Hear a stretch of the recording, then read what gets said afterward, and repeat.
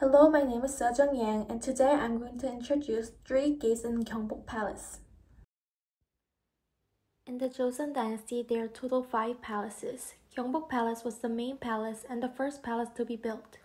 In 1395, King Taejo built a palace at Joseon's capital city, Hanyang.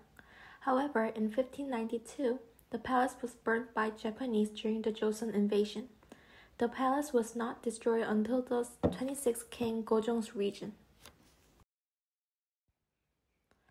Please look at this gate. This gate is Gwanghwa Gate, the main gate, and the south gate of Gyeongbok Palace. A red phoenix is drawn on the ceiling.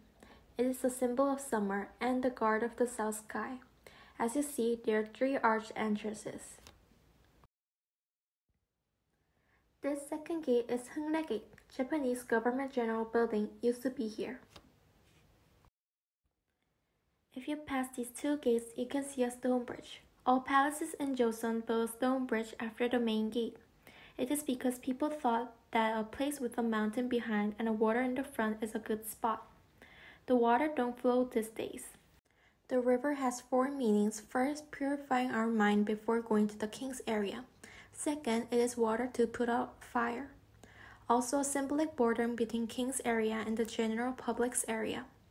Lastly, it makes a good place for the king. The stone bridge means the communication of the king and the people.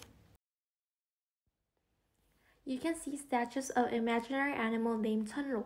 If you look closely, you can find that they're facing all different directions.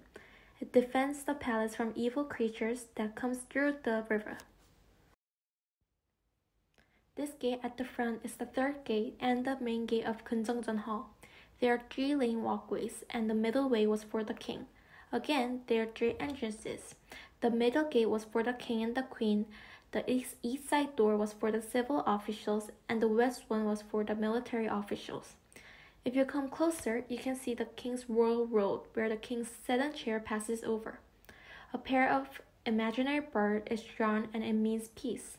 The stair beside is for the servants who lift the sedan chair. These were the three gates of Gyeongbok Palace. Thank you for listening to my speech.